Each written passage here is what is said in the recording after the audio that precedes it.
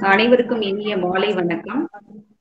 பழைய மாணவர்கள் முன்னெடுக்கக்கூடிய பேராசிரியர் தகுதி தேர்விற்கான இந்த வழிகாட்டி பயிற்சி வகுப்பிலே கலந்து கொள்வதற்காக வருகை தந்திருக்கக்கூடிய அனைவரையும் வரவேற்பதிலே பெரும் மகிழ்ச்சி அடைகின்றேன்.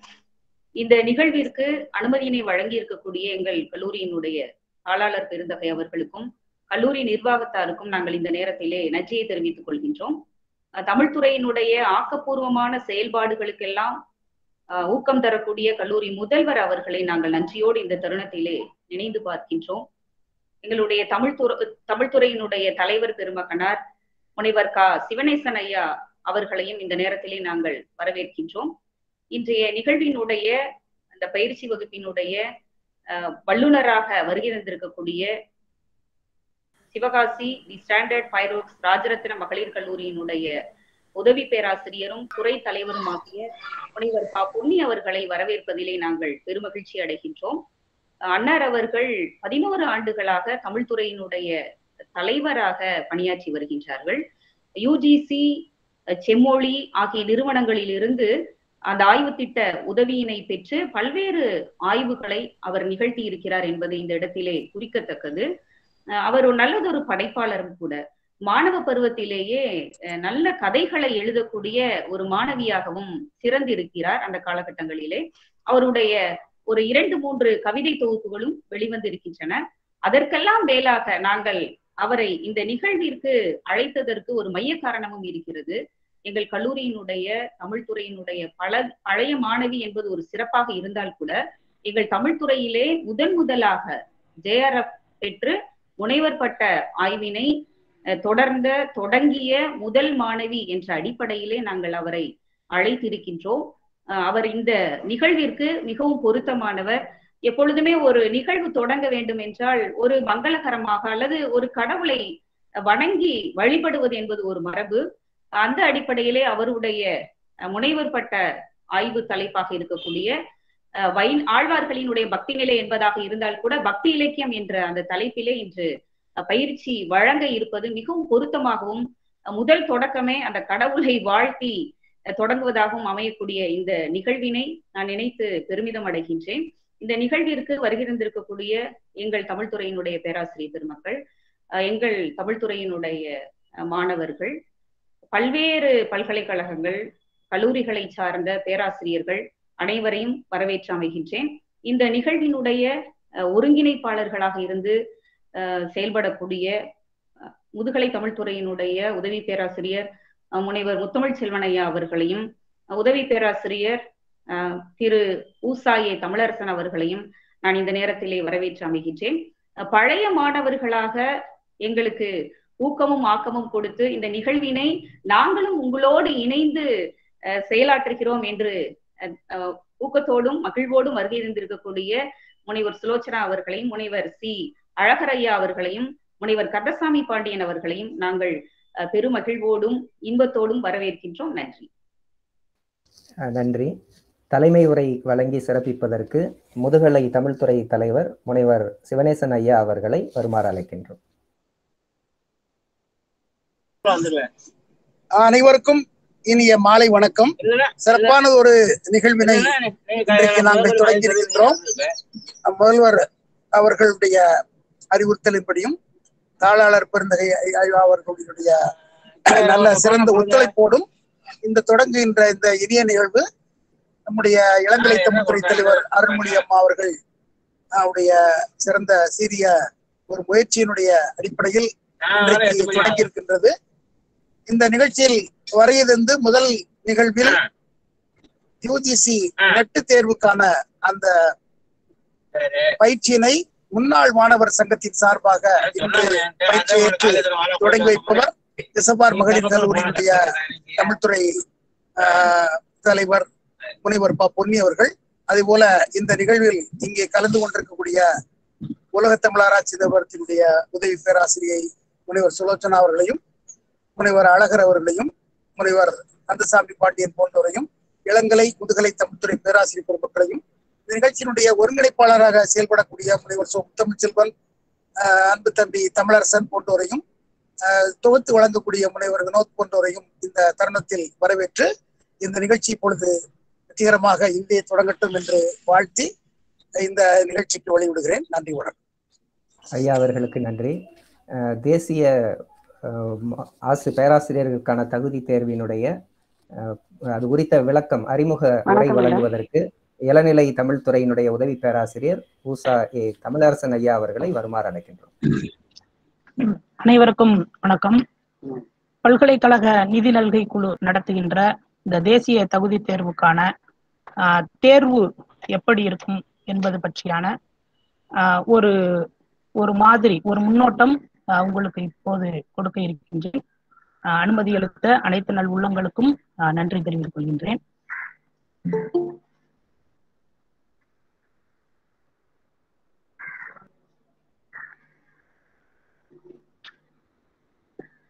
ஸ்கிரீன் ஷேர் ஆகுதாங்கய்யா வினோத் ஐயா? ஆகுதுங்கய்யா ஆ சரிங்க நன்றிங்க. இந்த தேசிய தகுதி தேர்வு என்று சொல்லக்கூடிய இந்த தகுதி தேர்வை நடத்துகின்ற அமைப்பானது மினிஸ்ட்ரி ஆஃப் ஹியூமன் ரிசோர்சஸ் மத்திய மனிதவளத்துறை அமைப்பு நடத்துகின்ற அந்த யூனிவர்சிட்டி கிராண்ட்ஸ் கமிஷன் பல்கலைக்கழக நிதி நல்கை குழுவினோடு நேஷனல் டெஸ்டிங் ஏஜென்சி என்கின்ற அமைப்பு தான் இந்த தேசிய தகுதி தேர்வை நடத்துகின்றது. அதில் இரண்டு விதமான தேர்வுகள் ஒரே தேர்வு தான் இரண்டு விதமான பணிக்கு அது அடிப்படையாக அமைகின்றது. ஒன்று கல்லூரி அளவுகளில் நம்மை தகுதிப்படுத்திக் கொள்ளக்கூடிய அசிஸ்டன்ட் ப்ரொஃபசர்ஷிப் லெக்சர்ஷிப் என்று சொல்லக்கூடியதும் இன்னொன்று முனைவர் பட்ட ஆய்வு மேற்கொள்வதற்கான ஊக்கத்தொகை அளிக்கக்கூடிய ஒரு தேர்வாக இது அமைய இருக்கிறது ஜூனியர் ரிசர்ச் ஃபெல்லோஷிப் ஜேஆர்எஃப் என்ற இரண்டு பிரிவு உள்ளது. ஆஹ் கல்லூரிகளில் இன்று பணிபுரிவதற்கு தகுதியாக நேஷனல் எலிஜிபிலிட்டி டெஸ்ட் என்று சொல் சொல்லக்கூடிய ஆஹ் தேசிய தகுதி தேர்வு அல்லது ஸ்டேட் எலிஜிபிலிட்டி டெஸ்ட் என்று சொல்லக்கூடிய மாநில அளவிலான தகுதி தேர்வு அல்லது முனைவர் பட்டம் ஆஹ் ஒரு முக்கிய தகுதியாக இருக்கின்றது. அடுத்ததாக ஆஹ் வருடத்திற்கு இரண்டு முறை இந்த தேர்வு அந்த யூஜிசியினால் நடத்தப்படுகின்றது. ஆஹ் ஜூன் மாதம் டிசம்பர் மாதம் இந்த தேர்வு நடத்தப்படுகின்றது. ஆஹ் கடந்த இரண்டாயிரத்தி இருபது டிசம்பர் மாதம் கொரோனா பொது முடக்க காலமாகனால ஆஹ் இந்த ஆண்டு கடந்த பிப்ரவரி இரண்டிலிருந்து அறிவிப்பு வந்திருக்கின்றது நோட்டிபிகேஷன் கொடுத்திருக்காங்க. மார்ச் இரண்டு வரைக்கும் நம்ம தேர்வுக்கு விண்ணப்பிக்கலாம். மே மாதம் தேர்வு நடத்த இருக்கின்றார்கள். கடந்த டிசம்பரில் தேர்வு நடக்காததுனால இப்ப மே மாதத்திற்கான தேர்வுக்கான அறிவிப்பு வந்திருக்கின்றது. அடுத்ததாக இந்த தேர்வுக்கான தகுதி என்ன வேண்டும்? கல்வி தகுதி என்று பார்க்கும்போது முதுகலை கல்வி தொகுதியாக இருக்கின்றது. பிஜி கிராஜுவேஷன் முதுகலை படிக்கக்கூடிய மாணவர்களும் கடைசி ஆண்டு படிக்கக்கூடிய இறுதி ஆண்டு படிக்கக்கூடிய மாணவர்களும் இந்த தேர்வுக்கு தகுதியானவர்கள். கல்வி தகுதியாக ஐம்பத்தைந்து சதவிகித மதிப்பெண்கள் தங்களுடைய பட்டத்தில் பெற்றிருக்க வேண்டும். ஜெனரல் கேட்டகரி என்ற பொது பிரிவினருக்கு ஐம்பத்தைந்து சதவிகிதமும் ரிசர்வ்டு கேட்டகரியில எஸ்சி எஸ்டி ஓபிசி மாணவர்களுக்கு ஐம்பது சதவீதமும் மதிப்பெண் தேர்ச்சி சதவீதம் பெற்றிருக்க வேண்டும். வரம்பு என்று பார்க்கும்போது அசிஸ்டன்ட் ப்ரொஃபசர்ஷிப் என்று சொல்லக்கூடிய லெக்சர்ஷிப் என்கின்றதுக்கு வயது வரம் இல்லை. ஜேஆர்எஃப் ஜூனியர் ரிசர்ச் ஃபெல்லோஷிப் பெறுவதற்கு முப்பதிலிருந்து முப்பத்தைந்து வயதுக்குள்ளாக இருக்க வேண்டும்.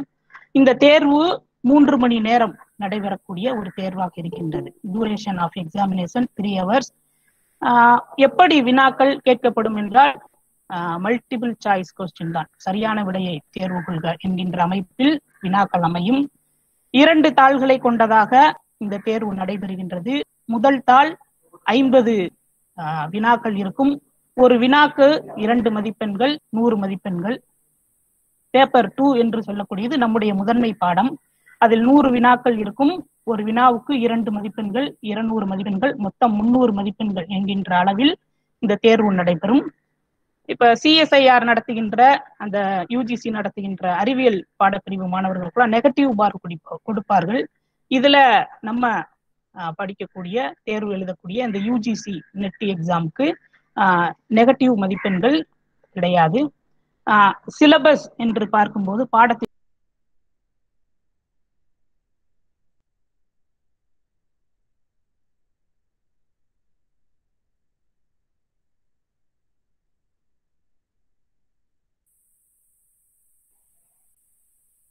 தமிழரசன் லெஃப்ட் ஆயிட்டாரா சார்? ஆமாங்கம்மா. சரி பொன்னி வேணா தொடங்க சொல்லிடுவோம். அப்புறம் வேணா அவரு பின்னாடி கூட அந்த அறிமுக உரையை கொடுத்துக்கலாம். என்னங்கம்மா? அடுத்து பொன்னி கூட கூப்பிட்டுருங்க. பொன்னி மேடத்தை கூப்பிட்டுருங்க. இந்த தேசிய பேராசிரியர்களுக்கான ஒரு தகுதி தேர்வினுடைய பயிற்சி வல்லுநராக வருகை புரிந்திருக்கக்கூடிய Sivakasi standard fire works Rajaratnam மகளிர் கல்லூரியினுடைய தமிழ்துறை தலைவர் பொன்னியம்மா அவர்களை பயிற்சி உரை வழங்க வருமாறு அன்போடு அழைக்கின்றோம். அன்னை தமிழுக்கு என் முதல் வணக்கம். சான்றோர் உள்ளிட்ட அவைக்கு என் அன்பு வணக்கம். இந்த இனிய மாலை பொழுதில் உங்கள் அனைவரையும் சந்திப்பதற்கு வாய்ப்பினை ஏற்படுத்தி கொடுத்த அருள்மொழி அவர்களுக்கும் எங்கள் ஐயா சிவனேசன் ஐயா அவர்களுக்கும் அயனாடார் ஜானகி அம்மாள் கல்லூரியின் தமிழ்துறை பேராசிரியர்கள் அனைவருக்கும் முதலில் எனது பணிவு கலந்த நன்றியை தெரிவித்துக் கொள்கிறேன். எனக்கு என்ன அப்படின்னா எப்பவுமே இப்ப வரைக்குமே எங்க காலேஜ் எங்க காலேஜ் அப்படின்னா எனக்கு அது அயனாடார் ஜானகி அம்மாள் காலேஜ் தான். ஒரு என்னை பொறுத்த வரைக்கும் அயனாடார் ஜானகி அம்மாள் கல்லூரி என்னோட அம்மா வீடு மாதிரி.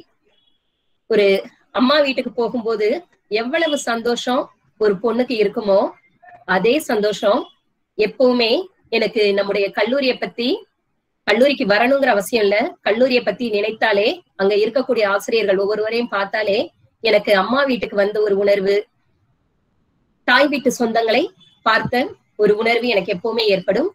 அப்படி ஒரு வாய்ப்பினை ஏற்படுத்தி கொடுத்த அருள்மொழி அவங்களுக்கு நான் முதல்ல நான் நன்றி சொல்லணும். அடுத்து இந்த பேராசிரியர் தகுதி தேர்வு தாள் இரண்டாவது தாள். இத பத்தி பாக்குறதுக்கு முன்னாடி ஒரு இரண்டு விஷயங்களை நான் சொல்றதுக்கு விருப்பப்படுறேன். என்னன்னா என்ன அவங்க அறிமுகப்படுத்தும் போது சொன்னாங்க தமிழ் துறையில முதன் முதலா ஜேஆர்எஃப் வாங்கி முனைவர் பட்ட ஆய்வினை முடித்த முதல் மாணவி நானு அப்படின்னு சொன்னாங்க. அதுக்கு காரணம் என்ன அப்படின்னு பார்த்தா ரெண்டு விஷயங்களை சொல்லலாம். ஒண்ணு இறைவனுடைய அருள். இன்னொன்னு இது பெருமையாகவும் இருக்கலாம் எங்களுடைய உழைப்பு. என்ன அப்படின்னா முதுகலை இரண்டாம் ஆண்டு படிக்கும்போது நானும் என்னுடைய தோழி சாத்துரை எஸ்ஆர்என்எம் கல்லூரியில தனுஜா அப்படின்னு ஒருத்தவங்க வேலை பாக்குறாங்க நாங்க ரெண்டு பேரும் வகுப்பு தோழிகள். அந்த பருவ விடுமுறை இருக்கும் இல்லையா? அந்த பருவ விடுமுறை முழுக்க நாங்க என்ன பண்ணுவோம்? ரெண்டு பேரும் தினம் கல்லூரிக்கு வருவோம். தினம் கல்லூரிக்கு வந்து காலையில முழுக்க முழுக்க நம்மளுடைய கல்லூரி நூலகத்துல இருந்து அங்க இருக்கக்கூடிய அந்த ஐஏஎஸ் மேனுவல் ஐஏஎஸ் மேனுவல் அப்புறம் இன்னும் முதல் பேப்பருக்குன்னு அங்க நிறைய புத்தகங்கள் உண்டு. போட்டித் தேர்வுகளுக்கான நூல்கள் அதிகமா உண்டு. அந்த நூல்கள் எல்லாத்தையும் எடுத்து நாங்க ரெண்டு பேருமா அந்த நூலகத்திலேயே ஏன்னா அதெல்லாம் வந்து ரெஃபரன்ஸ் புத்தகம். வெளியே கொடுக்க மாட்டாங்க. அதனால என்ன பண்ணுவோம்? நூலகத்திலேயே உட்கார்ந்து அந்த கணக்கை ஒவ்வொன்னா நாங்க சால்வ் பண்ணிக்கிட்டே இருப்போம். இதுல என்ன அப்படின்னா ஆஹ் நாங்க எக்ஸாம் எழுதுறப்ப என்ன மாதிரியா இருந்ததுன்னா மொத்தம் மூணு பேப்பர் உண்டு. முதல் பேப்பர் இப்ப இருக்கிற மாதிரியான இந்த பேப்பர் ஒண்ணு எல்லாருக்கும் காமனா இருக்கக்கூடிய பேப்பர் தான். அடுத்து ரெண்டாவது பேப்பர் தமிழ்ல நம்மளுடைய பாடத்துல அப்ஜெக்டிவ் டைப் மூணாவது பேப்பர் தியரி நாங்க எழுதணும். இதுல என்ன அப்படின்னா அந்த நேரம்லாம் அதாவது இது உண்மையா என்னன்னு எங்களுக்கு தெரியாது. ஆனா நிறைய பேர் என்ன சொல்லுவாங்க பேப்பர் ஒன்னு கிளியர் பண்ணாதான் எங்க நான் பேசுறது கேக்குதா? கேக்குதுங்கம்மா. கேக்குது கேக்குதுங்க. ஆ ஓகே அந்த பேப்பர் ஒன்னு எழுதி தேர்ச்சி பெற்றால் மட்டும்தான் பேப்பர் ரெண்டு மூணு இதெல்லாம் வந்து திருத்துறதுக்கே எடுப்பாங்க அப்படிங்கிற மாதிரியா எங்களுக்குள்ள ஒரு பேச்சு நிலவும். அதனால நாங்க என்ன பண்ணுவோம்? முழுக்க முழுக்க காலையில முழுக்க அந்த முதல் பேப்பருக்கு தான். ஏன்னா நமக்கெல்லாம் பிஏ ரெண்டாவது வருஷம் படிக்கும் போதே ஆங்கிலத்துடனான தொடர்பு அப்படியே போயிடுது. தேர்ட் இயர் வந்தப்பவும் ஆங்கிலத்துல அந்த அளவுக்கு ஒரு இது கிடையாது. திரும்பவும் பிஜி வந்ததுக்கு அப்புறமும் ஆங்கிலத்துக்குள்ள அந்த டச்சே கிடையாது.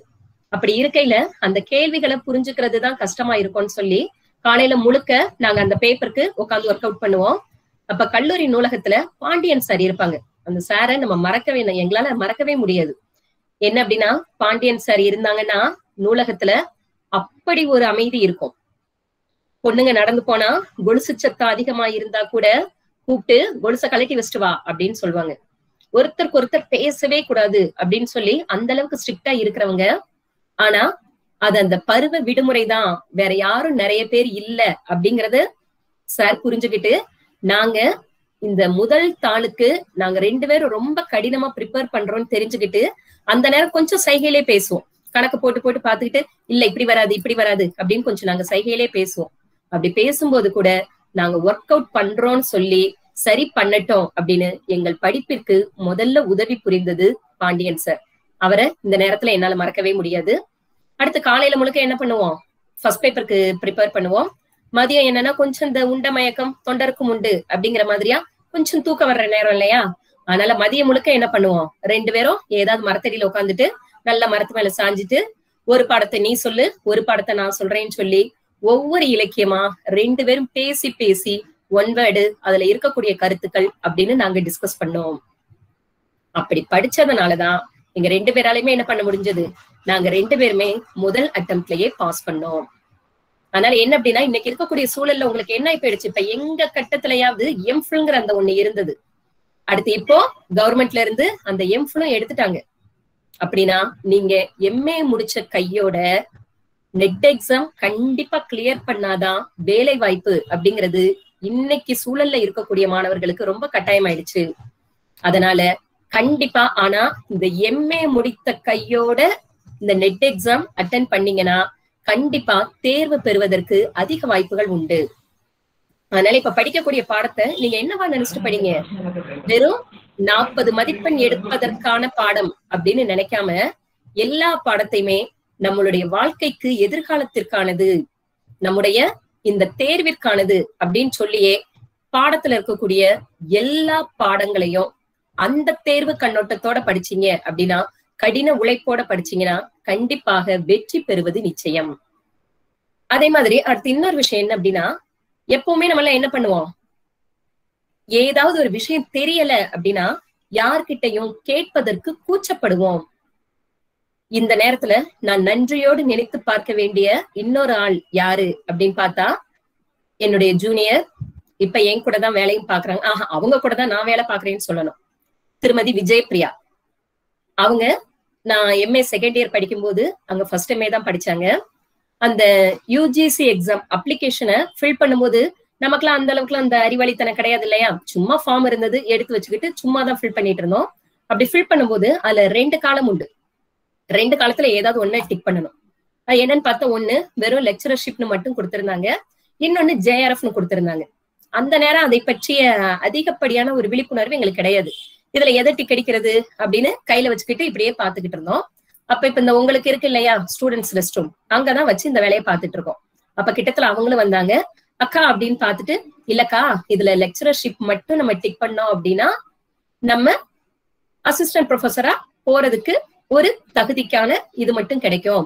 ஆனா ஜேஆர்எஃப் நம்ம கிளிக் பண்ணோம்னா நம்ம பிஹெச்டி பண்றதுக்கு அஞ்சு வருஷத்துக்கு அவங்க ஸ்டைஃபண்ட் தருவாங்கக்கா அப்படின்னு அவ தான் சொன்னான். அவ சொன்னதுக்கு அப்புறம் தான் நான் ஓ அப்படியான்னு சொல்லிட்டு அப்பவும் அப்படிலாம் கிடைக்குங்கிற ஐடியா எல்லாம் எங்களுக்கு கிடையாது. ஏன் அப்படின்னா நெட் எக்ஸாம் கிட்டத்தட்ட பத்து தடவை எழுதி கூட தேர்ச்சி பெறாதவர்கள் இருந்தாங்க. அப்ப நமக்கு முத தடவையே கிடைக்குங்கிற அந்த நம்பிக்கையில இல்ல விளையாட்டுத்தனமா தான் நிஜமாவே போட்டோம். அவ சொல்ல போய் தான் நான் அந்த இடத்துல ஜேஆர்எஃப்ங்கிறதையே டிக் பண்ணேன். அடுத்து நான் பிஹெச்டி வாங்குவதற்கும் சரி இப்ப நான் ஒரு அரசு ஊழியராக இருப்பதற்கும் சரி முழுக்க முழுக்க அதுல அவங்களுடைய பங்களிப்பு இருக்கு அப்படின்னா ஆஹ் அது மிகையானதே கிடையாது. அதனால அவங்கள நான் எப்பவுமே நன்றியோடு நினைத்து பார்ப்பேன்.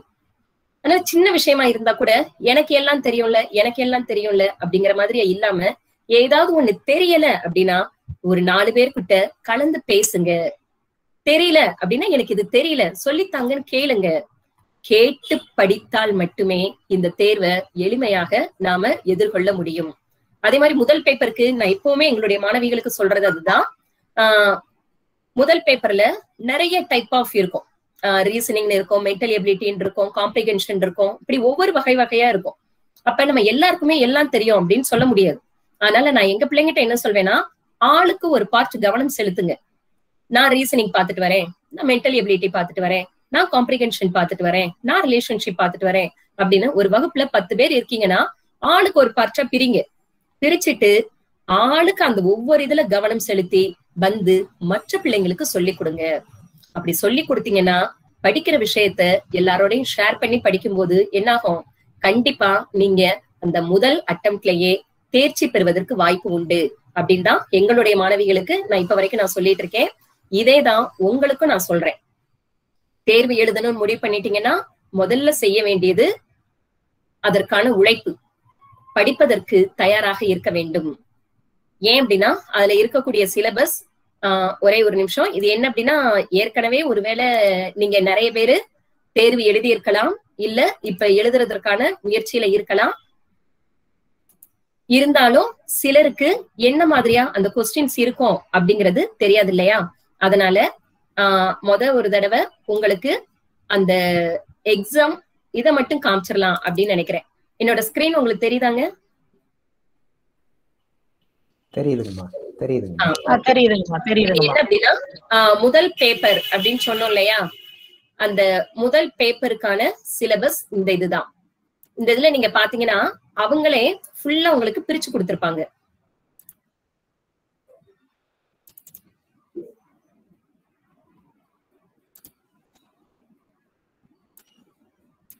ஆஹ் இதுல பேப்பர் ஒண்ணு அப்படின்னு நம்ம பாக்குறப்ப முத இது முழுக்க அந்த டீச்சிங் ஆப்டிடியூட் அடுத்து research aptitude comprehension communication mathematical reasoning and aptitude logical reasoning data interpretation information and communication technology people development and environmental higher educational system இந்த மாதிரியா?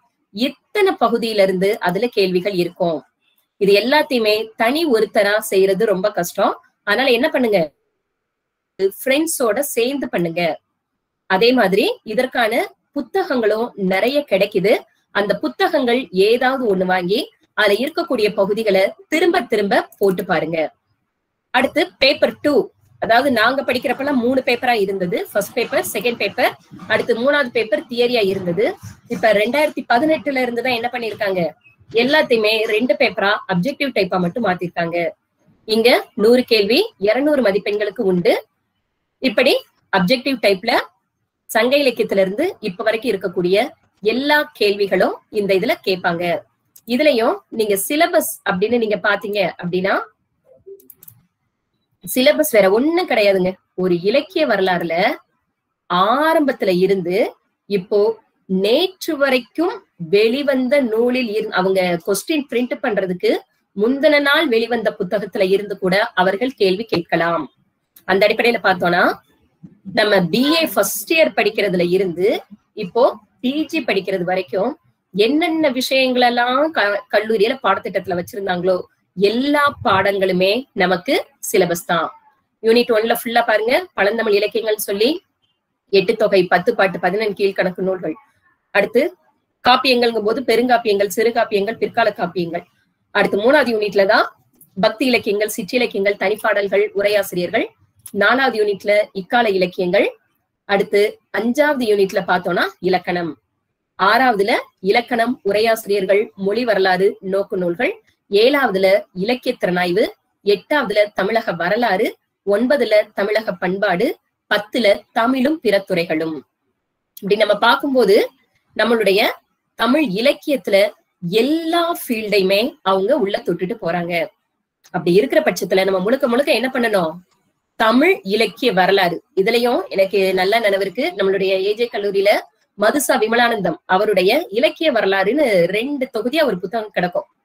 நாங்க அதுக்கு இலக்கிய வரலாறு படிக்கணும் அப்படின்னா முழுக்கவே அந்த புத்தகத்தை தான் தூக்கிட்டு உட்காருவோம். நல்ல தலையான சைஸ்க்கு இருக்கும். தூக்கி எடுத்து வச்சுட்டு மாறி மாறி நாங்க அதை வச்சுதான் நிறைய நாங்க டிஸ்கஸ் பண்ணோம்.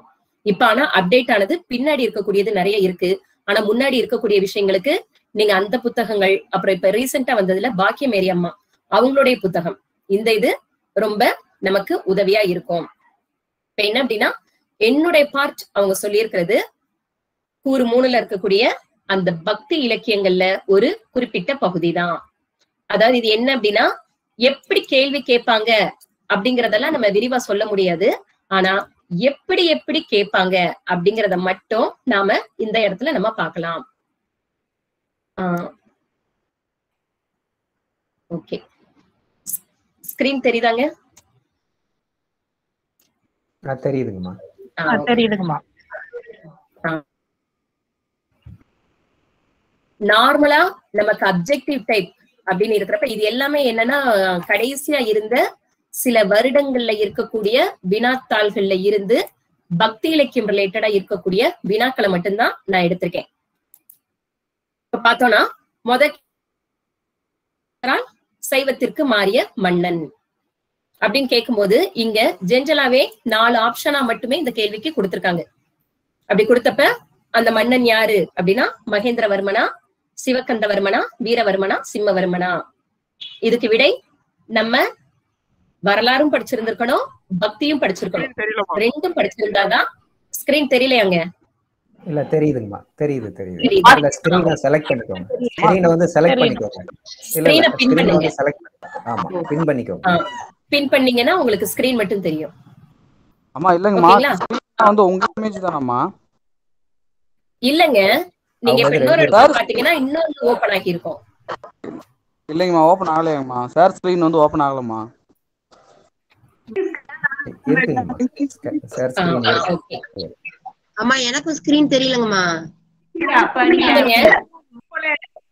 உங்க இதுல பீப்புள்னு வரிசையா எல்லாரோட பேரும் இருக்கும் பாருங்க. அதுல நீங்க வரிசையா பாத்தீங்கன்னா இந்த ஸ்கிரீன் மட்டும் ஒரு இடத்துல இருக்கும். அதை நீங்க டச் பண்ணுங்க. உங்களுக்கு ஸ்கிரீன் தெரியும். ஓகேங்களா? ஆ சரி. ஆ. அப்படின்னா இப்ப இத நம்ம படிச்சிருக்கணும்னா இந்த கேள்விக்கு நம்ம ஒரே. ஒரு நிமிஷம். எல்லாருக்கும் கேட்டுருங்க ஒரே ஒரு முறை. ஏன்னா இந்த ஆ கண்டிப்பா கண்டிப்பா. ஸ்கிரீன் இப்ப எல்லாருக்கும் தெரியுதாங்க அம்மா கேட்டுருங்க. அம்மா எனக்கு சொல்லுங்க தெரியல மேடம் தெரியுதுங்கம்மா எனக்கு தெரியுதுங்கம்மா. இல்ல சார் வேற மாதிரி மாத்திருங்க சார் அவங்க வேற மாதிரி பண்ணிருங்க இல்லங்க உங்க போன் கையில வச்சிருக்கீங்க இல்லையா? அதுல பின் போன்ல தானே நீங்க. பண்றீங்க? பின் பின்னே வரல பின்னிங்கே வரல. பின்னிங் வந்தா அந்த பின் கிளிக் பண்ணா தெரியும். ஆக்சுவலா பின்னே வரல. பின் மாதிரி இல்ல. அப்படி பண்ணா பொண்ணு நீங்க அப்படி பிரசன்ட் ஸ்கிரீன் கொடுத்து வந்துட வேண்டியதானே பிரசன்ட் ஸ்கிரீன் தான் போட்டிருக்கேன். மேடம் ஒரு நிமிஷம். அந்த யாருக்கு மேடம்? யாருக்கு அவங்களுக்கு தெரியலையோ அவங்க அந்த பார்ட்டிசிபென்ட் நேம் லிஸ்ட் இருக்கும். அதுல பொன்னி பிரசன்டேஷன் அப்படின்னு ஒரு ஒரு பேர் இருக்கும். அது பக்கத்துல ஒரு மூணு டாட் இருக்கும். அதை கிளிக் பண்ணீங்கன்னா அதுல பின் அப்படின்னு ஒரு ஆப்ஷன் இருக்கும். அதை கிளிக் பண்ண சொல்லுங்க. மொபைல்ல யூஸ் பண்ணுவாங்கன்னு நினைக்கிறேன். அந்த அந்த மூணு டாட்டை கிளிக் பண்ணாதான் அதுல பின் அப்படிங்கிற ஆப்ஷன் வரும். அந்த பின் ஆப்ஷனை கிளிக் பண்ணாங்கன்னா ஆட்டோமேட்டிக்கா பொன்னியாக்கு அவங்க ஸ்கிரீன் வந்து ஆட்டோமேட்டிக்கா அவங்களுக்கு தெரியும்.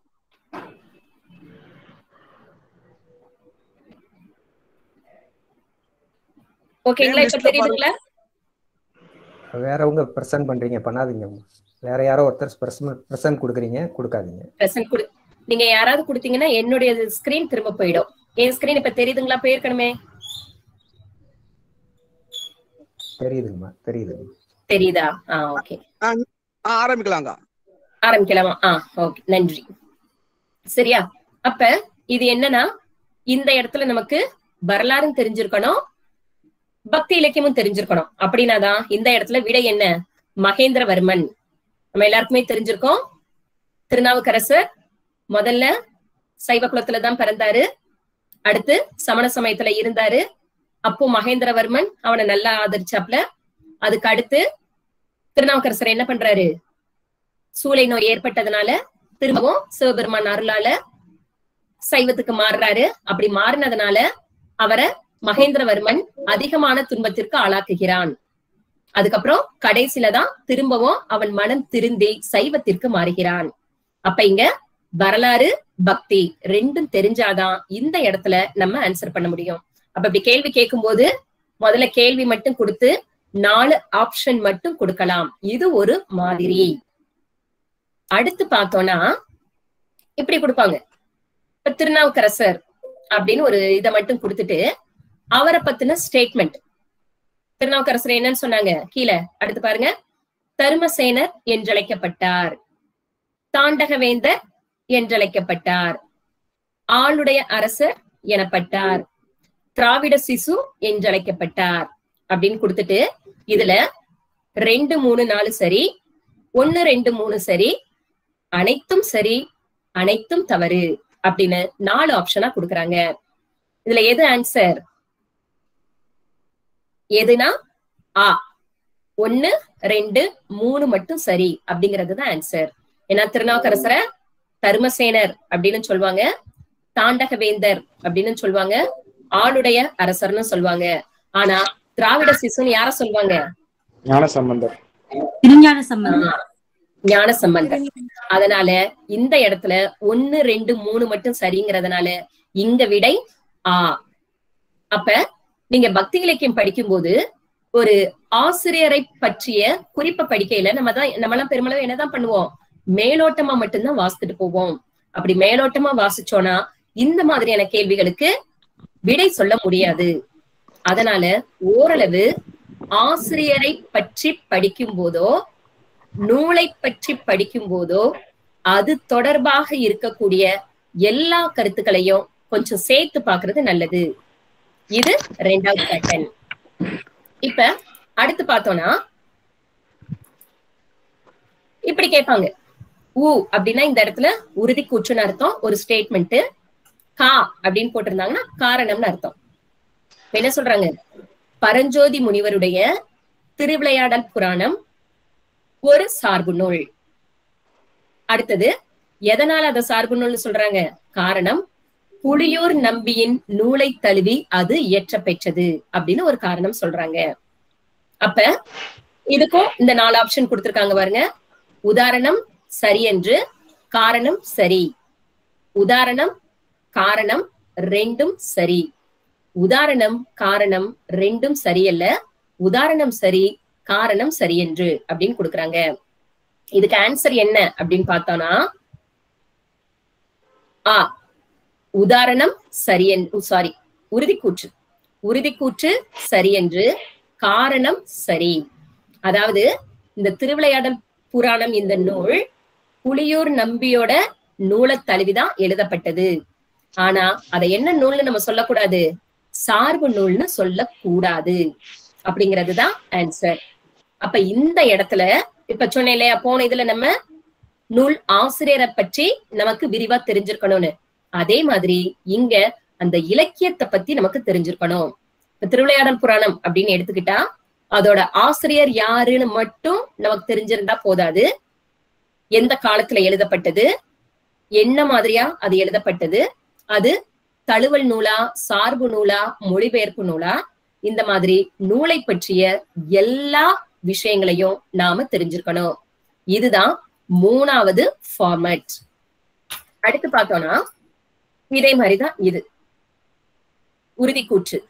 விப்ர நாராயணருக்கு தொண்டரடி பொடியாழ்வார் என்ற சிறப்பு பெயர் ஏற்பட்டது. காரணம் திருமால் அடியார்களுக்கு தொண்டு செய்தவர் ஆவார்.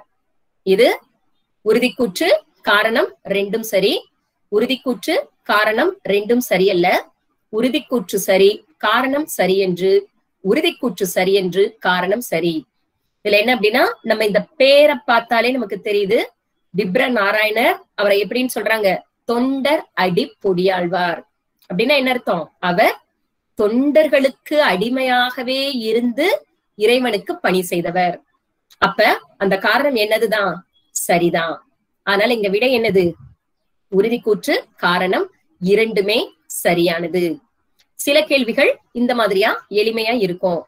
நாம அவங்க கொடுக்கக்கூடிய உறுதிக்கூற்றுல இருந்தே விடையை எளிமையாக தேர்வு செய்து கொள்ளக்கூடியதா இருக்கும். அடுத்து பார்த்தோம்னா சிவவாக்கியார். இதுவும் முன்னாடி சொன்ன மாதிரிதான் இலக்கியத்தை எழுதிய ஆசிரியர் அடிப்படையில கேட்கக்கூடியது.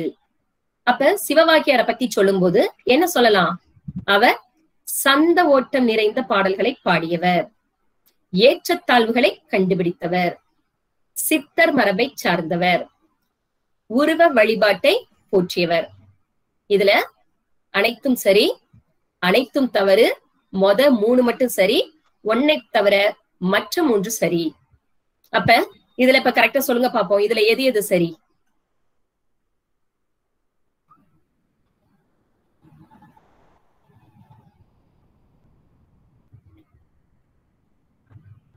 ஏங்க நான் பேசுறது நிஜமாவே கேக்குதா? கேக்குதுங்கம்மா கேக்குதுங்கம்மா. நல்ல வேலை. பரவாயில்ல. இல்லங்க இப்ப ஆன்லைன் கிளாஸ்ல இருக்கோம் இல்லையா? ஆன்லைன் கிளாஸ்ல இதே பிரச்சனை தான். ஏன்னா நாங்க கேள்வி கேட்போம். அங்கிட்ட இருந்து பதிலே வராதா? எங்களுக்கு ஒரு சந்தேகம் வந்துரும். நாம உள்ளதான் இருக்கோமா? நாம வெளியே வந்துட்டோமான்னு. அதே சந்தேகம் இங்கேயும் வந்துருச்சா? அதனாலதான் கேட்டேன். வேற ஒண்ணும் இல்ல. இப்ப என்னன்னா சிவவாக்கியாருடைய பாடல்கள் நம்ம பார்த்தோம் அப்படின்னா அதுல சந்தம் மிகுதியா தான் இருக்கும்.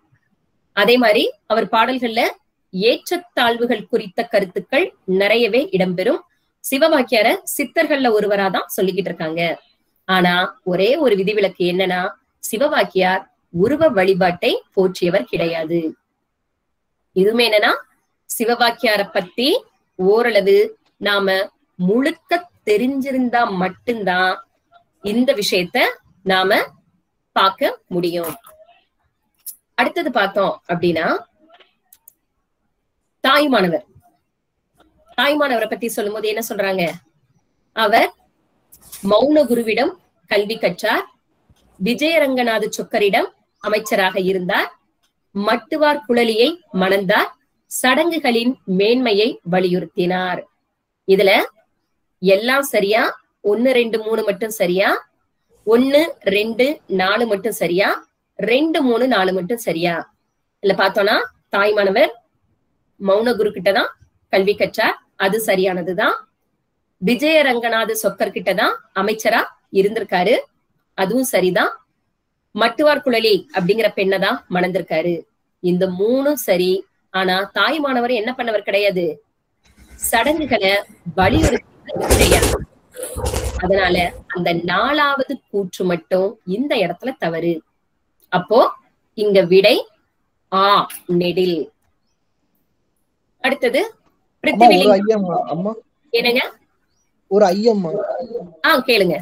தாயுமானவர் கருவூல கணக்கராதானமா பணியாற்றினாருன்னு நினைக்கிறேன். என்னங்க? தாயுமானவர் வந்து விஜயரங்க நாயக்கர் வந்து கருவூல கணக்கராதானமா இருந்தாரு.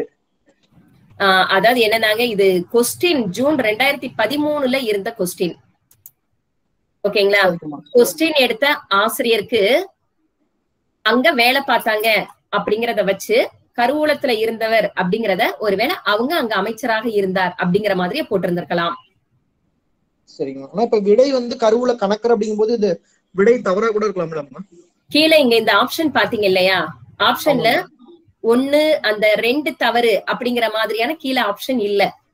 ஆமாங்கம்மா ஆஹ் அதனாலதான் அப்ப அந்த விடையும் சரியானது அப்படிங்கறதுக்குள்ள அதை எடுத்திருக்காங்க. சரிங்க. ஆனா ஒன்று மூன்று நான்கும் சரியாதானங்கம்மா இருக்கு? ஒன்று. மூன்று ஆப்ஷன்ல அவங்க கொடுக்கல இல்லைங்க ஆப்ஷன்ல பாருங்க. ஆ ஆப்ஷன் வந்து அனைத்தும் சரி. ஆ நெடில்ல ஒன்னு ரெண்டு மூணு.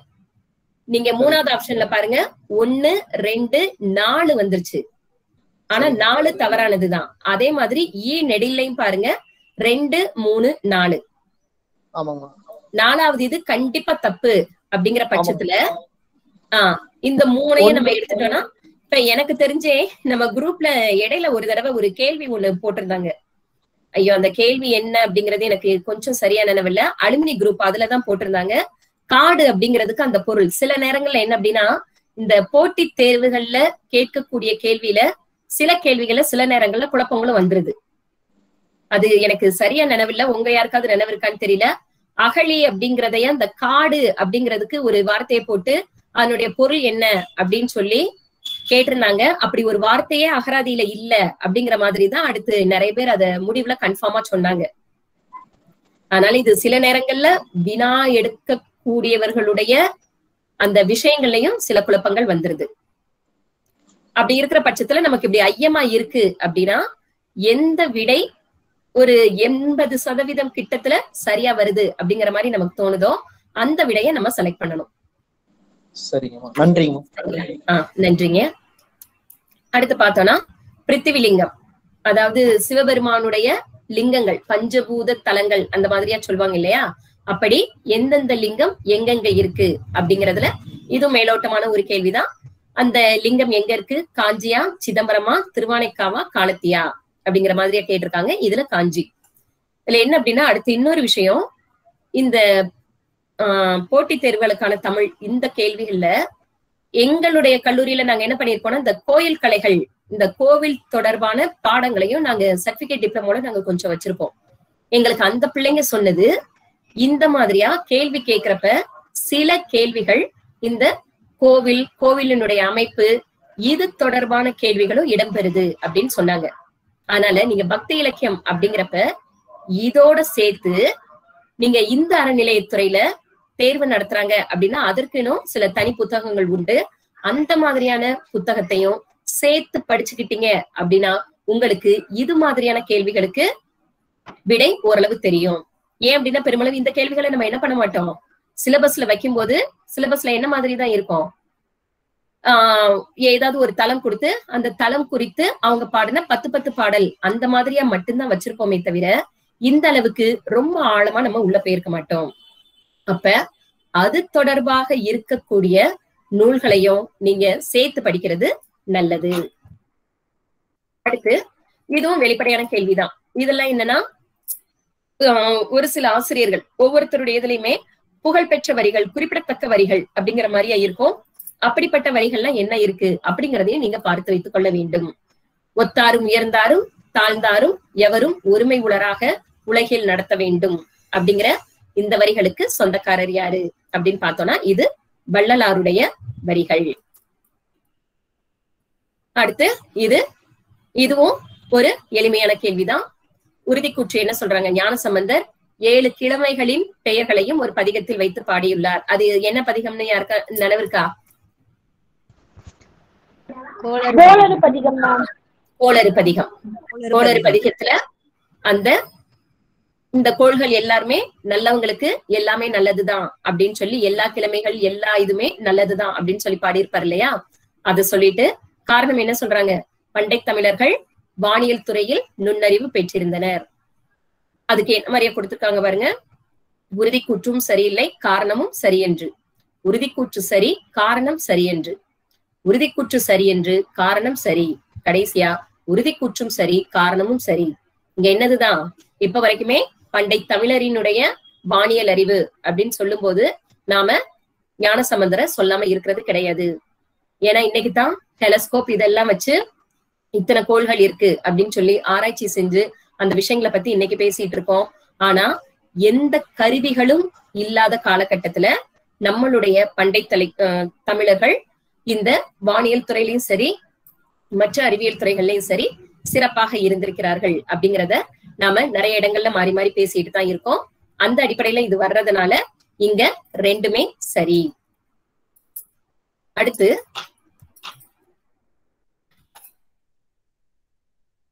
அடுத்து இந்த மாதிரியா நிரல் படுத்துக. இந்த மாதிரியான ஒரு அமைப்புமே வினால இருக்கு. இது திருமாலினுடைய அவதாரங்கள். நம்ம எல்லாருக்குமே தெரியும். இந்த அவதாரத்தை எளிமையா நம்ம மனசுல வச்சுக்கணும் அப்படின்னா திருமாலினுடைய அவதாரத்தை என்னன்னு சொல்லுவாங்க? மனிதனுடைய பரிணாம வளர்ச்சி கொள்கையை அடிப்படையாக கொண்டு அமைவது அப்படின்னு சொல்லுவாங்க. அந்த அடிப்படையில பார்த்தா டார்வினினுடைய பரிணாம கொள்கை அவதாரத்துல என்ன மாதிரியா பொருந்தி வரும்? அவங்களுடையது உலகத்துல முதன் முதலில் தோன்றிய உயிரி அமீபா நீரில் தான் தோன்றியிருக்கணும். அதே மாதிரி திருமாலினுடைய முதல் அவதாரம் அப்படின்னு எடுத்துக்கிட்டா மச்சம் மீன். அடுத்து நீரில் தோன்றிய உயிரி. அடுத்த என்ன நிலைக்கு வரும்? பாலூட்டி நிலைக்கு வரும். அப்படி பாலூட்டி நிலைக்கு சாரி ஆஹ் முதல்ல தண்ணியில மட்டும் இருக்கக்கூடிய உயிரியா இருக்கும். அதுக்கப்புறம் அது என்ன ஆகும்? தண்ணிலையும் தரையிலையும் வாழக்கூடிய உயிரியா இருக்கணும். அப்ப அதுதான் கூர்மம். ஆமை. அடுத்து அடுத்த படிநிலை பாலூட்டிங்கிற நிலைக்கு வளர்ச்சி அடையுது. அதுதான் வராகம் பன்றி. அடுத்து பார்த்தோம்னா மனித நிலையில சாரி விலங்கு நிலையில இருந்து மனித நிலை உருவாக தொடங்குது அப்படிங்கிறதுதான் பாதி மனிதன் பாதி சிங்கம். அந்த வடிவத்துல இருக்கக்கூடிய நரசிம்மம். அடுத்து முதன் முதல்ல தோன்றின உயிரி கொஞ்சம் அந்த என்ன சொல்றது அறிவுத்திறன் இந்த இதுல எல்லாம் கொஞ்சம் குறைபாடு உடையதாக இருந்திருக்கலாம் அப்படிங்கறதுனாலதான் உள்ள வடிவமாக இருக்கக்கூடிய வாமன அவதாரம் அடுத்தது மனிதர்கள் முத முதல்ல இரும்ப பயன்படுத்த ஆரம்பிக்கிறாங்க. அப்படிங்கிறதுதான் கையில வாளோடு இருக்கக்கூடிய பரசுராமர் அவதாரம். அதுக்கு அடுத்து மனிதன் எந்த இதுக்கு வர்றான்? ஆஹ் விவசாயம். என்னங்க? ஆஹ் எந்த அவதாரம் கடுத்துங்க இது வருது? தப்பா சொல்றேனோ? பரசுராமர். ஆ? பரசுராமர் கடுத்து பலராமரா ராமரா? பலராமன் என்னங்க? இல்லங்க கிருஷ்ணருக்கு பலராமர் மூத்தவர். ராம அவதாரம் முதல்லையா பலராம அவதாரம் முதல்லையா?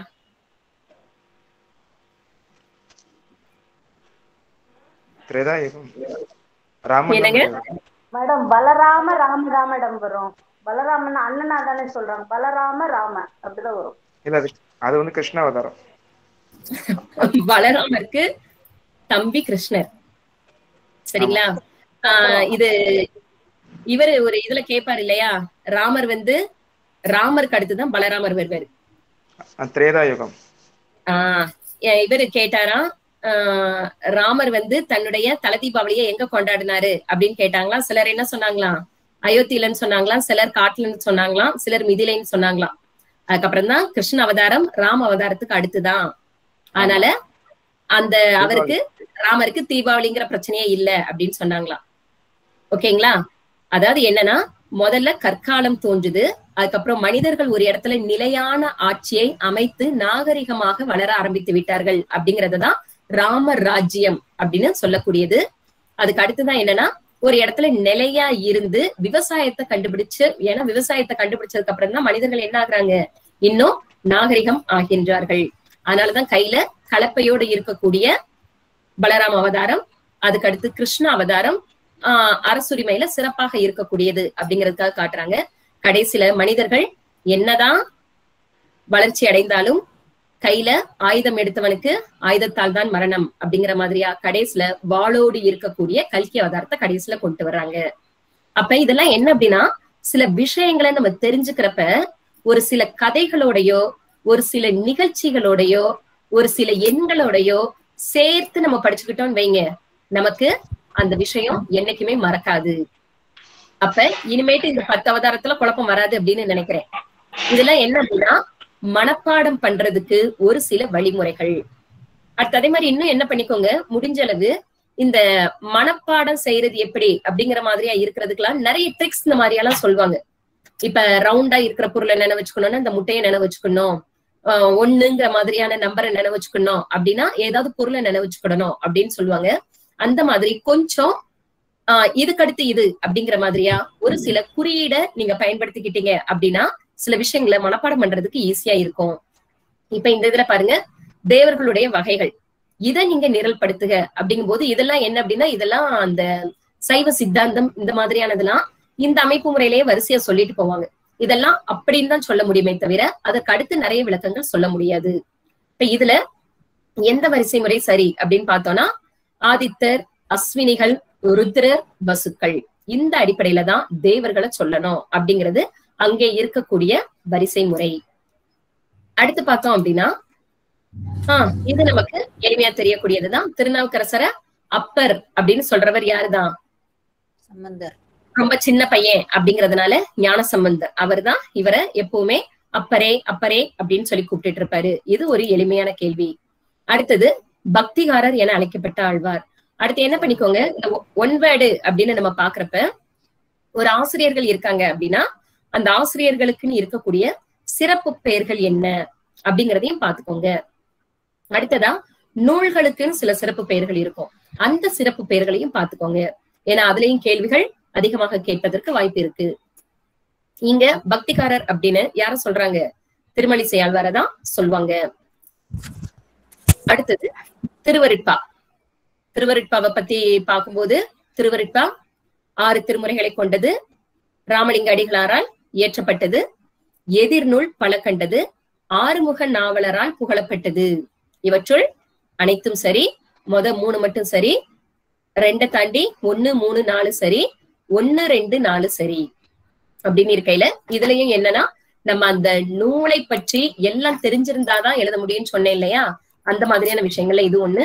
ஏன்னா என்ன அப்படின்னா ஆறுமுக நாவலர் திருவருட்பாவை பத்தி எந்த இடத்துலயும் சொன்னது இல்ல அப்படிங்கிறது ஆறுமுக நாவலரை பத்தி நம்ம படிச்சிருந்தாலும் திருவருட்பாவை பத்தியும் தெரிஞ்சிருந்தாதான் ரெண்ட பத்தியும் தெரிஞ்சிருந்தாதான் நம்மளால இந்த கேள்விக்கு விடை எழுத முடியும்.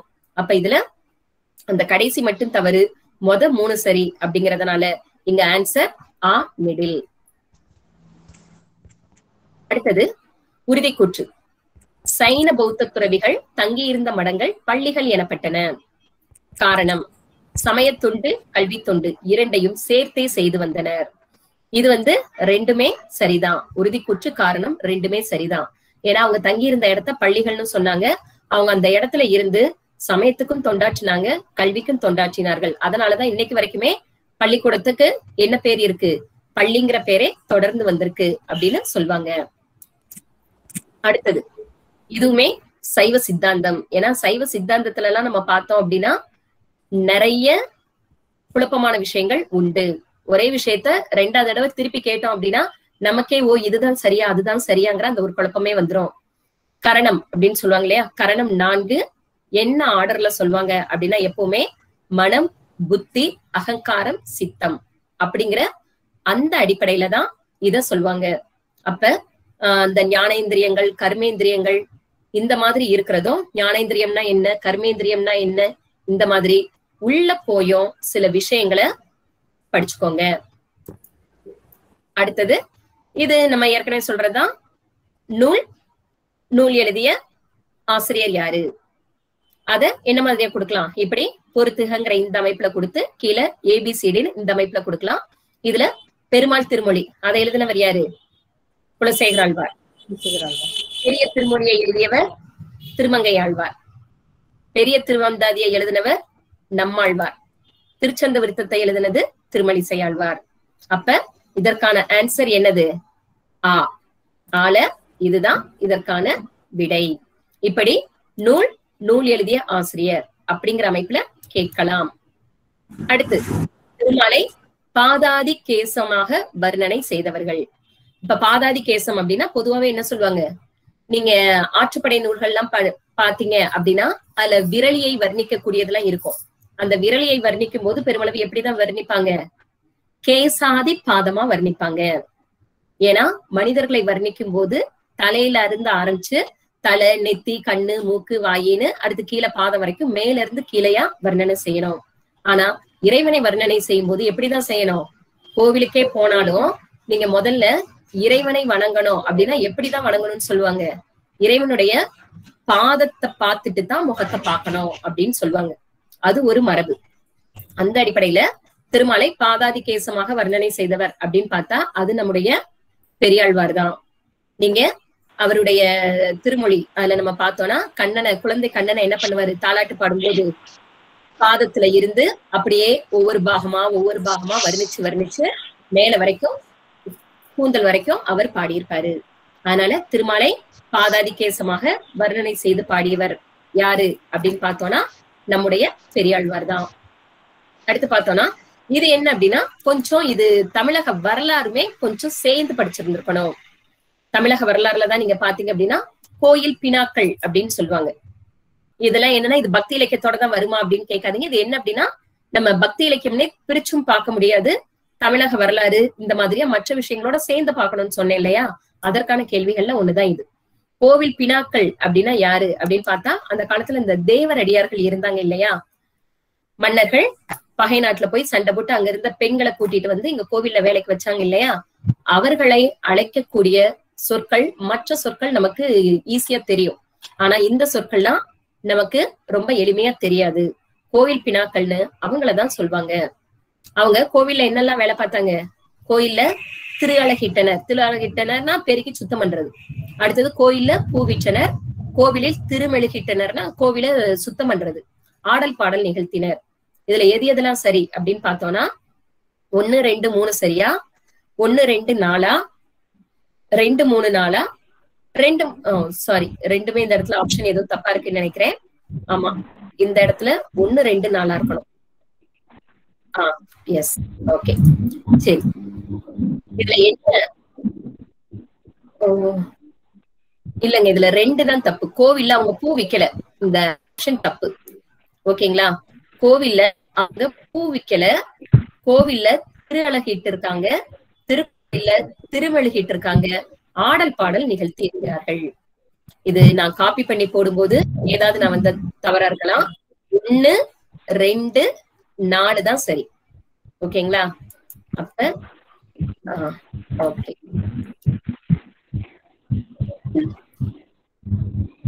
அடுத்து பார்த்தோம்னா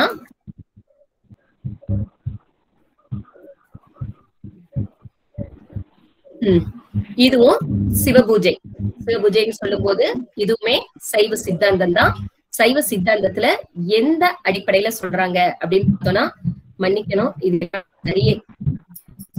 சரியை யோகம் ஞானம் கிரியைன்னு சொல்றாங்களா? சரியை கிரியை யோகம் ஞானம்னு சொல்லுவாங்களா? எந்த வரிசை முறையில இவங்க சொல்லுவாங்க அப்படின்னு பார்த்தா எப்பவுமே சிவ தத்துவங்கள் அப்படின்னு பார்த்தோம்னா அது என்ன அடிப்படையில தான் இருக்கும்? சரியை கிரியை யோகம் ஞானம். இப்ப சரியை அப்படின்னா என்ன அப்படின்னா ஆஹ் முத முதல்ல நம்ம சாமி கும்பிட ஆரம்பிக்கிறோம் அப்படின்னா சின்ன வயசுல கும்பிடும் போது என்ன பண்ணுவாங்க வீட்டுல ஆஹ் சாமிக்கு இப்படி நெய்வேத்தியம் வைக்கணும் இப்படி விளக்கு பொருத்தணும் இப்படி சாம்பிராணி புகை இதெல்லாம் போடணும் அப்படின்னு சொல்லுவாங்க இல்லையா? அப்படிப்பட்ட செயல்களை செய்யறதுதான் என்னது? சரியை. அடுத்தது கிரியை அப்படின்னா என்னன்னா ஏதாவது ஒரு கடவுளை மட்டும் புத்தியில வச்சு அந்த கடவுள் உருவத்தை வச்சு வழிபடுறதுதான் கிரியை. யோகம் அப்படின்னா என்னன்னா இந்த எட்டு நியமங்கள் சொல்லுவாங்க. இயமம் நியமம் ஆசனம் பிராணாயாமம் அந்த மாதிரியா சொல்லுவாங்க. அந்த நியமங்கள் எல்லாம் கடைபிடிக்கிறது தான் யோகம். அடுத்தது ஞானம்ங்கிறது தான் கடைசி நிலை. இறைவன் நம்ம உள்ளத்துக்குள்ளதான் இருக்கான் அப்படின்னு சொல்லி உணர்ந்து பூஜை செய்யக்கூடியதுதான் ஞானம். அதுதான் கடைசி நிலை. அதனால அப்ப இப்படி சிவ தத்துவங்களையும் கொஞ்சம் நாம பார்த்து வைக்க வேண்டும். அடுத்து இது மேலோட்டமான கேள்விதான். இது அப்பதே சொன்னேன் இல்லையா? ஒவ்வொருத்தரும் எழுதியிருக்கக்கூடிய இலக்கியங்கள்ல சிறப்பான வரியை வைத்து பார்க்கக்கூடியது. அதுதான் என்னன்னா தோடுடைய செவியன் அப்படின்னு யார் பாடுனா? நம்முடைய திருஞான சம்பந்தர் பித்தா பிறை சுடின் பாடினது நம்முடைய சுந்தரர். யாருக்கும் ஊதியமே அப்படின்னு சொன்னது நம்முடைய மாணிக்க வாசகர் இன்பமே என்னாலும் துன்பம் இல்லை அப்படின்னு சொல்றது நம்மளுடைய அப்பர் ஆஹ் இப்படி இந்த பாடல் வரிகளை வச்சு கேட்கலாம். அடுத்தது பொய்கை ஆழ்வார் பூதத்தாழ்வார் பேயாழ்வார் இவங்கள முதல் ஆழ்வார்கள்னு சொல்றாங்க. ஏன்னா இவங்க எல்லாருமே காலத்தால் முற்பட்டவர்கள். அப்ப இந்த விடைக்கு ஆன்சர் ரெண்டுமே சரி அப்படிங்கிறது தான் ஆஹ் நேரம் ரொம்ப ஆகுதுன்னு நினைக்கிறேன். அதனால கொஞ்சம் வேகமாவே நான் போயிடுறேன். அடுத்தது காரைக்கால் அம்மையார். காரைக்கால் அம்மையார என்னன்னு சொல்லுவாங்க? புனிதவதியார் அப்படிங்கிற இயற்பெயரை கொண்டவர். அவரை என்னன்னு தான் சொல்லுவாங்க? பேய் அப்படின்னு தான் சொல்லுவாங்க. அவரே அவங்களை அப்படிதான் சொல்லிக்கிடுவாங்க. ஏன்னா கணவருக்கு பயன்படாத இந்த இளமை வேண்டாம் அப்படின்னு சொல்லி அவர் முதுமை கோலத்தை வாங்கிக்கிட்டார். அந்த முதுமை கோலத்தை தான் பேய் வடிவம் அப்படின்னு சொல்றாங்க. பரமதத்தனை மணந்தவர் இறைவனாலேயே அம்மை என்று அழைக்கப்பட்டவர். அதான் நீங்க பாத்தீங்கன்னா நாயன்மார்கள்ல மீதி எல்லாருமே நின்னுட்டு இருப்பாங்க. காரைக்கால் அம்மையாருடைய சிலை மட்டும்தான் எப்படி இருக்கும்? உட்கார்ந்து இருக்கக்கூடிய தகுதி பெற்றவராக அங்க இருப்பாரு. ஓகேங்களா? அதனால இங்க என்ன இது? எல்லா கூற்றுமே சரியான கூற்றுதான். அடுத்து பக்தி சாரர் அப்படின்னு யார சொல்றாங்க? நம்முடைய திருமலிசை ஆழ்வார. அடுத்தது சிவன் கோயில்கள்ல சில பாடல் பெற்ற தலங்கள் அப்படின்னு சொல்றாங்க. சமயக்குறவர் நால்வரும் பதிகம் பாடிய கோயில்கள் அவை. இது என்ன அப்படின்னா ஆஹ் காரணம் சரி அந்த உறுதிக்கூற்று தவறு. சாரி ஆஹ் உறுதிக்கூற்று சரி காரணம் சரியில்லை. அதாவது சைவ சமய குறவர்கள் இவங்க பாடின கோவில்களை மட்டும்தான் தலங்கள் அப்படின்னு சொல்றாங்கன்னா கிடையாது. சிவன் கோயில்களை பாடல் பெற்ற தலங்கள் அப்படின்னு சொல்லக்கூடியது மரபு. இவங்க பாடினதுனாலதான் சொல்றாங்க அப்படிங்கிறது கிடையாது அப்படிங்கறதுனால இங்க உறுதிக்கூற்று சரி. அடுத்து பார்த்தோம் அப்படின்னா தாயுமானவர் வேண்டாம் அடுத்த கேள்விக்கு போயிடும் ஆஹ் சித்தர்கள்ல இடைக்காட்டு சித்தர் அப்படின்னு ஒருத்தருக்கு பேர் இருக்கு. அதற்கு காரணம் என்ன சொல்றாங்க? காட்டிடையே நின்று கொண்டு பாடியவர் அவர். கிடையாது. ஏன் அப்படின்னா இடைக்காடு அப்படிங்கிற ஊர்ல இருந்தவர். அதே மாதிரி இடையர் குலத்தை சார்ந்தவரா அவர் இருந்திருக்காரு அப்படிங்கறதுனாலதான் அவரை இடைக்காட்டு சித்தர்னு சொன்னாங்களே தவிர அவர் காட்டுல இருந்து பாடுனதுனால அப்படி சொல்லல. அடுத்தது திருவாதிரை. திருவாதிரை எந்த மாசத்துல நடக்கும் அப்படின்னா மார்கழி. அடுத்து ஆஹ் இது கொஞ்சம் முக்கியமானதுங்க. என்னன்னா இப்ப நீங்க ஃபர்ஸ்ட் பேப்பர்ல பாத்தீங்க அப்படின்னா ஃபர்ஸ்ட் பேப்பர்ல என்ன பண்ணிருப்பாங்க? அந்த காம்ப்ரிகென்ஷன்ங்கிறதுல ஒரு பேரா கொடுத்துருப்பாங்க. ஒரு பேரா கொடுத்து அந்த பேரால இருந்து அடுத்த வரிசையா கேள்வி கேட்பாங்க. அதே மாதிரி இங்கேயும் என்ன பண்றாங்க? ஒரு பேராகிராஃப் கொடுக்குறாங்க. கொடுத்து அந்த பேராகிராஃப நம்ம முழுசா வாசித்துட்டு அதுக்கு கீழே கேள்விகள் தர்றாங்க. அப்ப அதுக்கு நம்ம முதல்ல என்ன பண்ணணும்? கொடுக்கப்பட்டிருக்கக்கூடிய பகுதியை கொஞ்சம் நிதானமா வாசிக்கக்கூடிய புத்தி நமக்கு வேணும். அந்த நேரம் முழுக்க முழுக்க தான் இருக்கும். ஐயோ நம்ம சரியா தான் எழுதுறோமா? சரியா தான் எழுதுறோமா? அப்படிங்கிற அந்த டென்ஷன் அதிகமா இருக்கும். திரும்ப ஒண்ணு சொல்றேன். பயம் உள்ள போச்சு அப்படின்னா தெரிஞ்சது கூட தெரியாம போயிடும். அதனால பதட்டப்படாம தேர்வை எதிர்கொள்ள வேண்டியது ரொம்ப அவசியம். அதனால இப்ப இந்த பேராகிராஃப நிதானமா நீங்க வாசிச்சு முடிச்சாதான் அடுத்த கேள்வியெல்லாம் பாருங்க அதுல இருந்துதான் கேட்டிருப்பாங்க. மாறனை தாக்க வேண்டிய கருவி எது? அப்படின்னா இங்க மேல இந்த பேராகிராஃப்ல அதற்கான விடை இருக்கும். சரியா? காப்பதற்கும் அடக்குவதற்கும் அரிதான சபல சித்தத்தை அறிவாளி வேடன் தன் அம்பை நிமிர்த்துவது போல் நோக்குகின்றான். அப்படின்னு இதெல்லாம் நம்ம பார்த்தோம்னா மேலோட்டமான விஷயமா இருக்கலாம்.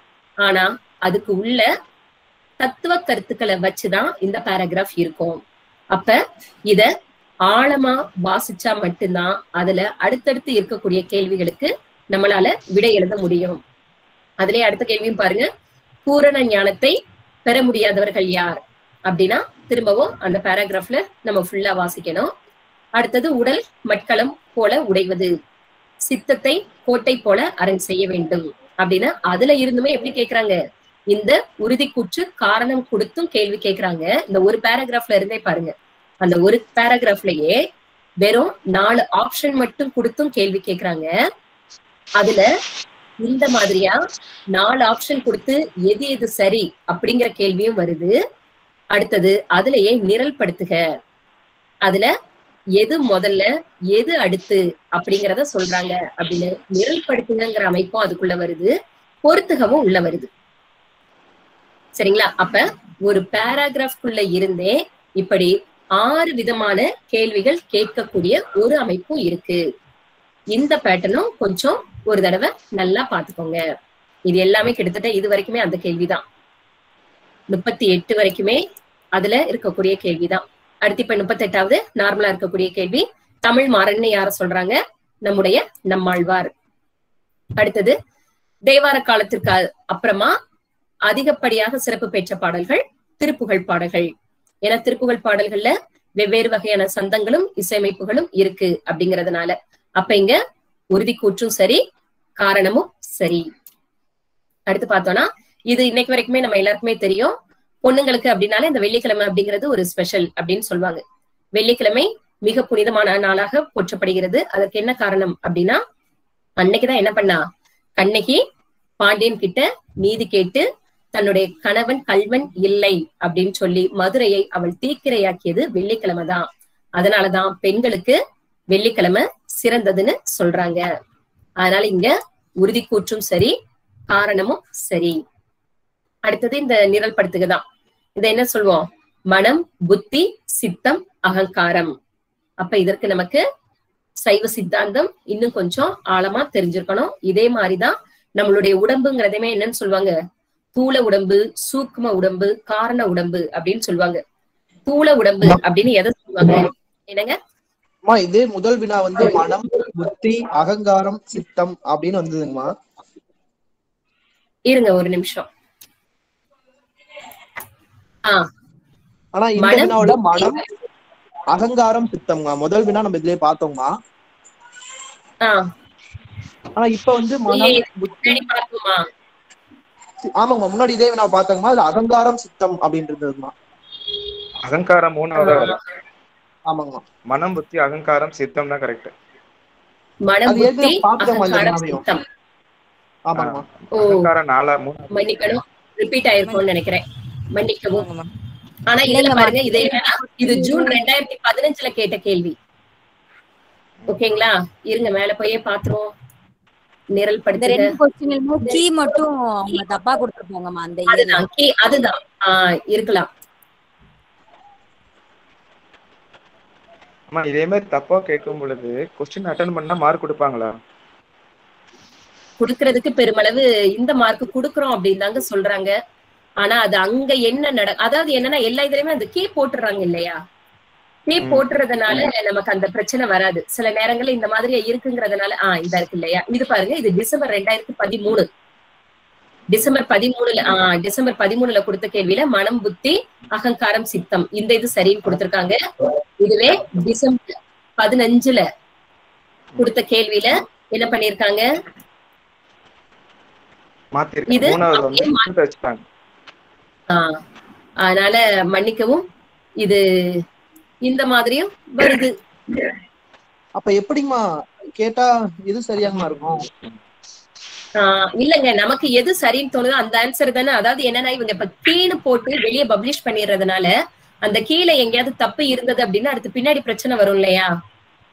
அதனால ஒருவேளை இந்த வருஷத்துல இது வந்து நான் உள்ள இருந்து நான் எடுத்து நான் காப்பி பண்ணி போட்டதுதான் அவங்க கொடுத்த கீழே கூட வேற எதுவும் மாத்தி எடுத்து கொடுத்திருக்காங்களாங்கிறது எனக்கு அதை பத்தி ஐடியா இல்ல. ஓகேங்களா? அதனால அது அவங்களுடைய இதுக்குள்ள இருக்கலாம். அடுத்து இதே மாதிரிதான் நம்மளுடைய வழிபாட்டு முறைகள். கௌமாரம்ங்கிறது முருக வழிபாடு சாக்தம்ங்கிறது சக்தி வழிபாடு காணாபத்தியம்ங்கிறது விநாயகர் வழிபாடு சௌரம்ங்கிறது சூரிய வழிபாடு. அப்ப என்னென்ன வழிபாட்டு முறைகள் நம்ம கிட்ட இருக்கு அப்படிங்கறதும் இந்த பொருத்துகளை வருது.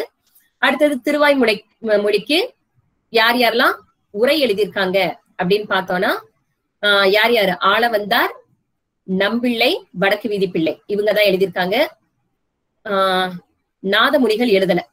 ஓகேங்களா? அடுத்து பார்த்தோம்னா உறுதிக்கூற்று இந்த கிராம இது வந்து ஃபோக் ரிலேட்டடா கேட்கக்கூடிய கேள்வி. கிராம தேவதைகள்ல கோயில்கள்ல உயிர் பலியிடும் வழக்கம் தொன்று தொட்டே இருந்து வருகிறது. அதற்கு காரணம் வந்து ஊன் உண்ணு வழக்கம் உடையவர்கள் தமிழர்கள் அப்படிங்கிறது அந்த காரணம் தவறானது. நம்ம சாப்பிடுறோம். அதாவது ஊன் உண்ணு வழக்கம் இருக்கிறதுனாலதான் கோவில்ல பலியிடுறோம் அப்படிங்கிறது கிடையாது. ஒவ்வொரு இடங்கள்லயுமே ஒவ்வொரு பழக்க வழக்கத்திற்கு பின்னாடியும் வேற ஒரு காரணம் இருக்கும். அதனால உயிர் பலியிடுதல் அப்படிங்கிறது என்ன சொல்றது? ஆஹ் நம்ம கிட்ட இருக்கக்கூடிய அந்த அகங்காரம் இந்த இதெல்லாம் விடணும் அப்படிங்கிறதுக்காகத்தான் சில செயல்கள் செய்யறோம் அப்படிங்கிற மாதிரியா சொல்லுவாங்க. அப்ப அதற்கு காரணம் வேற இருக்கும். ஊன் உண்ணக்கூடிய வழக்கம் இருந்ததுன்னு சொல்றது தப்பு அப்படிங்கிறதுதான் இங்க சொல்றாங்க. அடுத்து திருக்கருவை பதிற்று பத்தந்தாதி குட்டி திருவாசகம் என போற்றப்படுகிறது. அப்படின்னா அதற்கு காரணம் திருவாசகத்தின் அமைப்பு முறையை அது பின்பற்றி இருக்கு. அப்படின்னா காரணம் தவறு அப்படின்னு சொல்றாங்க. ஆஹ் ஆனா உம் திருக்கருவை பதிச்சு பத்தந்தாதிய குட்டி திருவாசகம்னு சொல்றது அதனுடைய கருத்துக்களினுடைய தொடர்பாக இருக்கலாம் அப்படின்னு நான் நினைக்கிறேன். நிஜமா நான் இதை இன்னும் நான் ஆழமா பாக்கல ஆனால் இதுல நீங்க எனக்கு கேட்டீங்கனாலும் எனக்கு தெரியாது. அடுத்தது இல்ல சிவபெருமானுடைய தன்மை சொல்லியிருக்காரு. ஆஹ் இல்லங்க. அமைப்பு அடிப்படையில தான் அப்படிங்கறத இல்ல சாரி இத வந்து திருக்கருவை பதிச்சு பத்தந்தாதி குட்டி திருவாசகம்னு சொல்றதுக்கு திருவாசகத்தினுடைய அமைப்பு முறைய அது பின்பற்றி இருக்கு அப்படிங்கிற இந்த காரணம் தப்பு. அப்படின்னா அதுல இருக்கக்கூடிய பொருண்மை ஒரே மாதிரியா இருக்கலாம். வெறும் அமைப்பு மட்டும் ஒன்னா இருக்கிற மாதிரியா இருக்காது. அதனால காரணம் தவறு. அப்படிங்கிற கருத்து இருந்திருக்கலாம்னு நான் சொன்னேன். அடுத்தது திருவாய்மொழிக்கு அமைந்த இது நாடு கிடையாது படி. அதாவது இப்ப என்ன அப்படின்னா வைணவத்திற்கு எழுதக்கூடிய உரைகளை என்ன சொல்லுவாங்கன்னா ஒவ்வொன்றுக்கும் ஒவ்வொரு படிங்கிற மாதிரியா சொல்லுவாங்க. அதாவது முதல்ல குறைந்த அளவுல விளக்கம் எழுதுறது அடுத்து அதுக்கு இன்னும் விளக்கம்னு நிறைய எழுதுறது அடுத்து அதுக்கு இன்னும் விளக்கம் அதிகமா எழுதுறதுன்னு சொல்லி திருவாய்மொழிக்கு மட்டும் கிட்டத்தட்ட முப்பத்தாறாயிரம் படிங்கிற அளவுல அதிகப்படியான அளவுல உரை அமைஞ்சிருக்கு. அதனால எல்லா இதுமே நம்ம பார்த்தோம் அப்படின்னா இந்த வியாக்கியானங்கள்னு சொல்லுவாங்க. வியாக்கியானம் அப்படின்னா விளக்கம்ங்கிற அர்த்தம். நம்ம பேச்சு வழக்குல கூட சொல்லும்போது தெரியுமா? ஆமா எப்ப பார்த்தாலும் இவன் வியாக்கியானமாவே பேசிக்கிட்டே இருப்பான் அப்படின்னு சொல்லுவாங்க. வியாக்கியானம் அப்படின்னா விளக்கம். அப்ப திருவாய்மொழிக்கு முதல்ல ஒரு விளக்கம் அடுத்து அந்த விளக்கத்திற்கு ஒரு விளக்கம் அப்படின்னு சொல்லி அதிக அளவுல விளக்கம் அமைந்த பாசுரம் வந்து திருவாய்மொழியில் இருக்கக்கூடிய பாசுரங்கள். அடுத்தது நம்மளுடைய தாய்மானவரை பத்தி சொல்லும்போது சமரச ஒளி கண்டவர் எல்லோரும் இன்புற்றிருக்க நினைப்பதுவே என பாடியவர் இசை மெட்டோடு அமைந்த நாட்டுப்புற சாயலுடன் பாக்களை குறைந்தவர் கடைசியில விநாயக புராணம். அவரு விநாயக புராணம் இயற்றியது கிடையாது. அதனால முதல் மூன்று மட்டுமே சரியானது. சரி நான் இந்த ஐம்பதோட நிப்பாட்டிக்கலான்னு பாக்குறேன். அடுத்தது திருவாய்மொழிக்கு முதன் முதல்ல உரை வகுத்தவர் யாரு அப்படின்னா ஆள வந்தார் அவர்தான் உரை வகுத்திருக்கிறார். இன்னும் இதே மாதிரி பக்தி இலக்கியங்களை பொறுத்த வரைக்கும் அதுக்குள்ள ஒரு விஷயம் அப்படிங்கிற மாதிரியா நம்ம சொல்ல முடியாது. வெளிப்படையா சொல்லலாம் பக்தி இலக்கியம்னு மட்டும் கிடையாது. நம்முடைய தமிழ் இலக்கியங்கள் எல்லாமே நம்ம கடலோட கரையில மட்டுமே நின்னுக்கிட்டு சும்மா பாத்துக்கிட்டே இருக்கிற மாதிரி தான் அதுக்குள்ள எவ்வளவுதான் எடுத்தாலுமே நம்மளால முழுசா பார்க்க முடியாது. ஆனாலும் இந்த தேர்வுல நம்ம வெற்றி பெறணும் அப்படின்னா ஓரளவாவது எல்லா விஷயங்களையும் நாம தெரிஞ்சுக்கிட்டு தேர்வுக்குள்ள போறது நல்லது அப்படின்னு நான் நினைக்கிறேன். வாய்ப்பிற்கு நன்றி. கேளுங்க. நான் நாகப்பட்டினம் இஜிஎஸ் பல்கலைக்கழகத்துல இருந்து பேசுறேன் உதவி பேராசிரியர். சொல்லுங்க. அந்த நம்ம பதினோராம் திருமுறையில வந்து மொத்தம் நாற்பது தொகுதிகள் இருக்குமா ஆனா. சந்திரபோஸ் ஐயா எழுதின புத்தகத்துல முப்பத்தொன்பது தொகுதிகள் தொகுதிகள் சொல்லியிருக்காரு. ஒரு தொகுதியை வந்து அவர் என்ன பண்ணிருக்காரு அப்படின்னா ஆலவாய் இங்க எழுதின ஆர் சிவபிரமணியன் எழுதின ஆலவாய் ஓலையை வந்து எடுத்துட்டார். அதுல முப்பத்தொன்பது தொகுதிகள் தான் இருக்கு. இப்ப ஆப்ஷன்ல வந்து பதினோராம் திருமுறையில வந்து எத்தனை தொகுதிகள் இருக்குன்னு கேட்கும் பொழுது ஒரு சில ஒண்ணு ரெண்டு மூணு நாலு எதை கொடுக்குறாங்கன்னு வச்சுங்களேன் இதுல நம்ம படிச்சுட்டு போய் முப்பத்தி தொகுதியெல்லாம் இருக்கு. சந்திரபோஸ் புக் ஐயா எழுதின புக்ல இருக்குன்னு சொல்லி சொல்லிட்டோம்னா அது வந்து எப்படி சாத்தியமாகாது? ஆனா உண்மையிலேயே நாற்பது தொகுதிகள் தான் ஒரிஜினல் புத்தகத்துல இருக்கு. அதாவது என்ன அப்படின்னா எந்த ஒரு நூலையுமே பதிப்பிக்கும் போது சிலருக்கு ஏற்படக்கூடிய அந்த ஒரு அதாவது என்னன்னா சில நேரங்கள்ல நம்மளுடைய சொந்த எண்ணங்கள் இந்த மாதிரி சில நேரங்கள்ல உள்ள வந்துரும். அப்படி இருக்கக்கூடிய பட்சத்துல இந்த மாதிரியான குழப்பங்கள் வரக்கூடியது இயல்பு. அதனால ஒரிஜினலா நமக்கு என்ன ஆரம்பத்துல இருந்து சொல்லியிருக்காங்களோ அதையே கொஞ்சம் நம்ம பின்பற்றி விடுவது நமக்கு நல்லது. ஏன்னா நிறைய பேர் இப்ப என்ன அப்படின்னா நிறைய பேர் இந்த மாதிரியா போடுறாங்க அப்படின்னா பெரிய பெரிய ஆட்கள்லாம் என்ன சொல்லுவாங்கன்னா நிறைய அந்த மாதிரியான விஷயங்களை ஏத்துக்க மாட்டாங்க. அதாவது இது இந்த கூட்டத்துல விவாதிக்கக்கூடிய பொருள் இல்லை. ஆமா. அதனால இதை நான் கொஞ்சம் இதோட நிப்பாட்டிக்கலாம்னு நினைக்கிறேன். ரொம்ப அருமையா சொல்லி பேசியிருக்கீங்கம்மா ரொம்ப நன்றிம்மா. ரொம்ப ரொம்ப நன்றி நன்றிங்க. அரு- அருமை அருமை அருமை ஆஹ்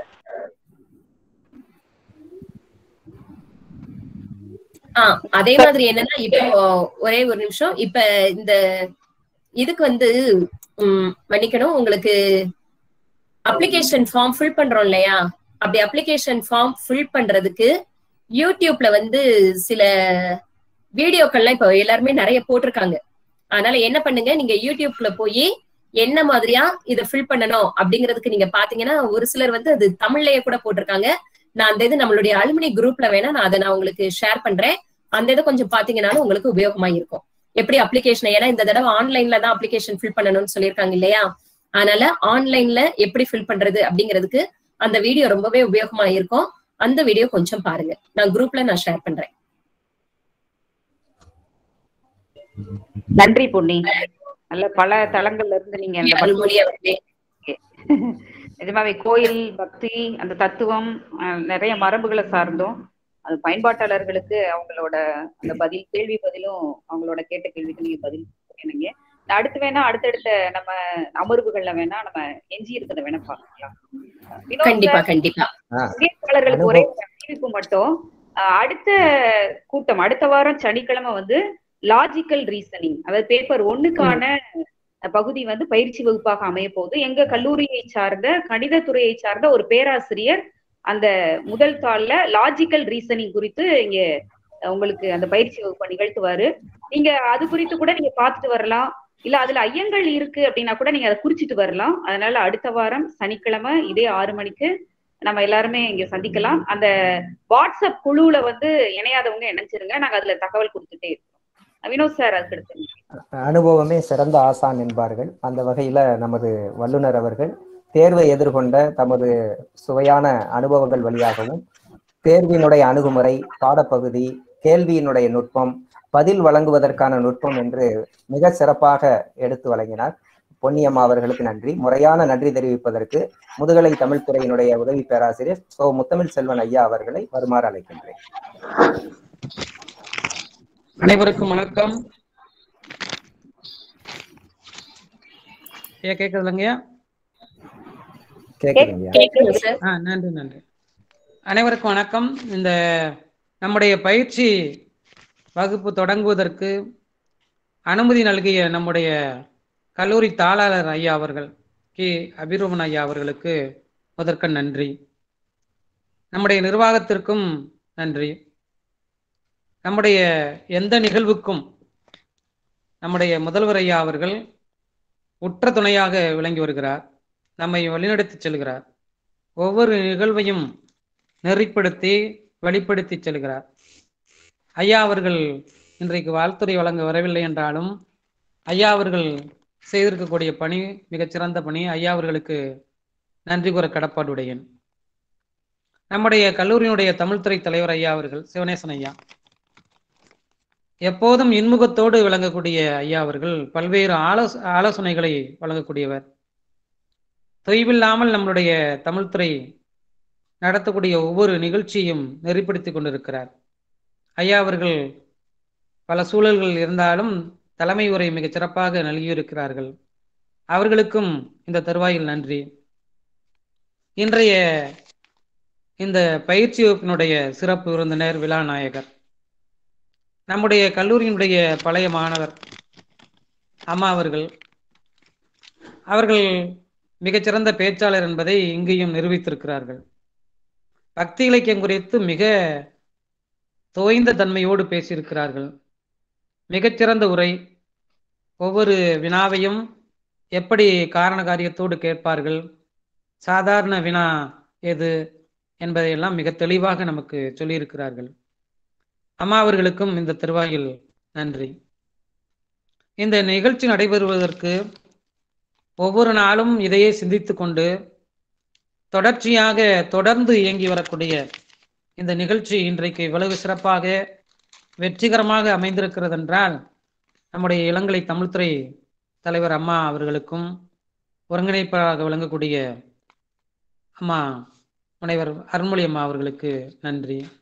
தொடர்ந்து ஓய்வறியாமல் இயங்கிக் கொண்டிருக்கிறார்கள். பல நிகழ்ச்சிகள் வியாழக்கிழமை ஒரு நிகழ்ச்சி இப்படி தொடர்ச்சியாக ஒவ்வொரு நிகழ்வையும் நடத்தி கொண்டிருக்கிறார்கள். அவர்களுக்கும் இந்த தருவாயில் நன்றி. மிகச்சிறந்த வரவேற்புரை வழங்கியிருக்கிறார்கள். நன்றி நன்றி. அதே போல நம்முடைய இளைஞர் பட்டாளம் குறிப்பாக தம்பி தமிழரசன் அவர்கள். தமிழ்துறையினுடைய பல்வேறு நிகழ்வுகளுக்கு உறுதுணையாக இருக்கிறார். இன்றைக்கு இணை ஒருங்கிணைப்பாளராகவும் இருக்கிறார். அவர் இந்த பயிற்சி வகுப்பினுடைய சிறப்பை பற்றி அதனுடைய தன்மையை பற்றி அறிமுக உரை ஆற்றியிருக்கிறார். அவர்களுக்கும் நன்றி. அதே போல நம்முடைய இந்த நிகழ்வை தொய்வில்லாமல் தொகுத்து வளர்ந்து வழங்கி கொண்டிருக்கக்கூடிய அவரும் பல்வேறு விதமான நிகழ்வுகளுக்கு மிகச்சிறந்த உறுதுணையாக ஐயா அவர்கள் விளங்குகிறார்கள். அந்த வகையில் ஸோ வினோத் வினோத் ஐயா அவர்களுக்கும் இந்த தருவாயில் நன்றி கூற கடப்பாட்டுடையேன். இந்த பயிற்சி வகுப்பில் நமக்கு உற்ற துணையாக விளங்கக்கூடிய பழைய மாணவர்கள் முனைவர் நா. சுலோச்சனாமா அம்மா அவர்கள் ஐயா அழகர் ஐயா அவர்கள் தம்பி கந்தசாமி பாண்டியன் அவர்கள் அவர்களுக்கும் இந்த தருவாயில் மிகுந்த நன்றி. ஒரு விழாவுக்கு முக்கியமாக அதற்குரிய பங்கேற்பாளர்கள் வேண்டும். அந்த வகையில் நாம் சொன்னவுடனேயே நாம் எதிர்பார்க்காத அளவுக்கு மிகப்பெரிய பயிற்சி இந்த பயிற்சி மையத்திற்கு வந்திருக்கக்கூடிய நம்முடைய பழைய மாணவர்கள் நம்முடைய கல்லூரி ஆசிரியர்கள் முதுகலை மாணவர்கள் முனைவர் பட்ட ஆய்வாளர்கள் பிற துறையைச் சேர்ந்த பிற பல்கலைக்கழக கல்லூரி ஆசிரியர்கள் மாணவ நண்பர்கள் தமிழ் ஆர்வலர்கள் அனைவருக்கும் இந்த தருவாயில் நன்றி நன்றி. இந்த விழா சிறப்புற அமை அமைய துணை புரிந்த அத்தனை பேருக்கும் நன்றி நன்றி.